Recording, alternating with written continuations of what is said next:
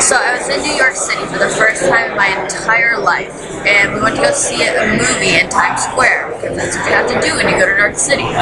So we saw a movie. I don't even remember what the first movie we saw was. It was funny. It was goofy. It was the silly teenager movie. And we decided to sneak into another movie. I'd never done that before. It was my first sneak into a double feature, and I was so excited because I was in New York. We, wa- we didn't even pay attention to what movie we walked into.